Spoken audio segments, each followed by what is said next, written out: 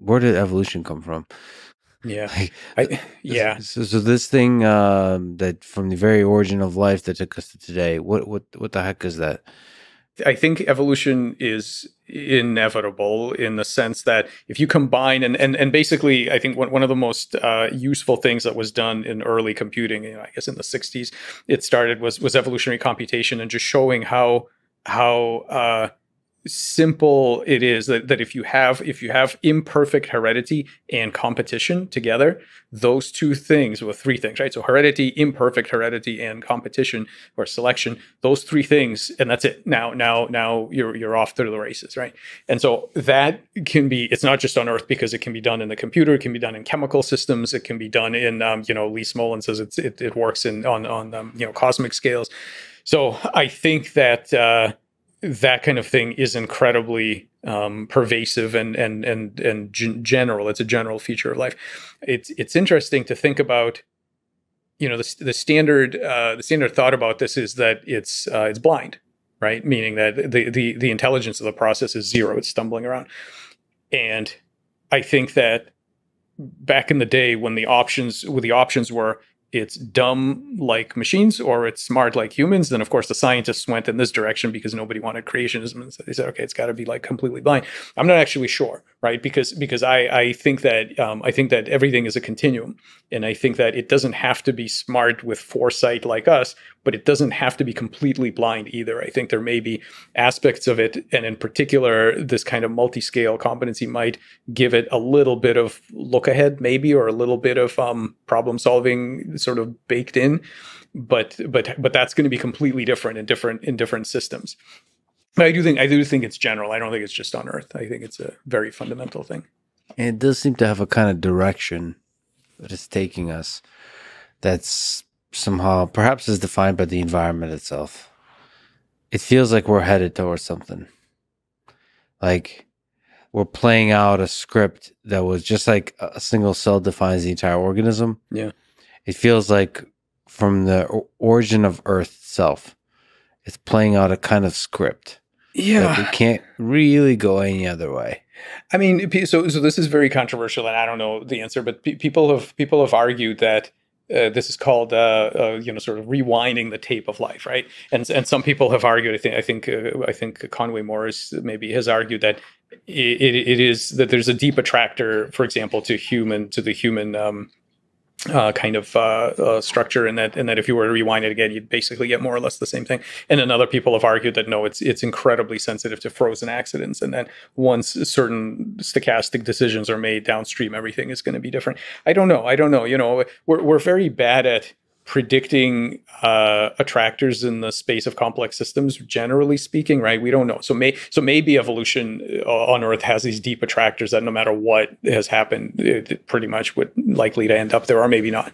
I don't know. What's a really difficult idea to imagine that if you ran earth a million times 500,000 times you would get hitler. Like yeah. we don't like to think like that. We think like because at least maybe in America, you like to think that individual decisions can change the world. And if individual decisions can change the world, then surely any perturbation results in a totally different trajectory. But maybe there's a, in this competency hierarchy, it's a self correcting system that just ultimately, yeah. there's a bunch of chaos that ultimately is leading towards something like a super intelligent artificial intelligence system that answers 42. I mean, there there might be a kind of imperative for life that it's headed to, and we're too focused on our day to day life of getting coffee and snacks and having sex and getting a, a promotion at work, not to see the big imperative of life on Earth that it's headed towards something. Yeah, may, maybe, maybe. I, I it, it's it's it's difficult. I, th- I think one of the things that's important about um, chimeric uh, bioengineered technologies, all of those things, are that we have to start developing a better science of predicting the cognitive goals of, of composite systems. So we're just not very good at it, right? We we don't know uh, if if if if I create a composite system, and this could be Internet of Things or swarm robotics or a cellular a cellular swarm or whatever, what is the emergent intelligence of this thing? First of all, what level is it going to be at? And if it has goal directed capacity, what are the goals going to be? Like we are just not very good at predicting that yet.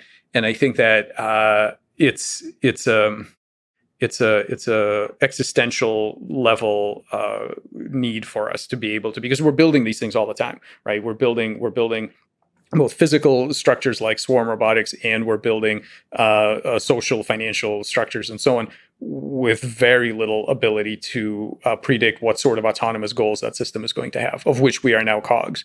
And so right so so learning learning to predict and control those things is going to be critical. So if so so in fact so so if you're right and there is some kind of attractor to evolution it would be nice to know what that is and then to make a rational decision of whether we're going to go along or we're going to pop out of it or, or try to pop out of it. Because there's no guarantee. I mean that's that's that's the other you know kind of important thing. A lot of people I get a lot of complaints uh, from from people email me and say, uh, you know, what you're doing, uh, it isn't natural, you know. And I'll say, look, natural that that'd be nice if if somebody was making sure that natural was was was w- matched up to our values but no one's doing that. By uh, you know evolution optimizes for biomass. That's it. Mm-hmm. nobody's optimizing it's not optimizing for your happiness. It's i don't think necessarily it's optimizing for for for intelligence or fairness or any of that stuff.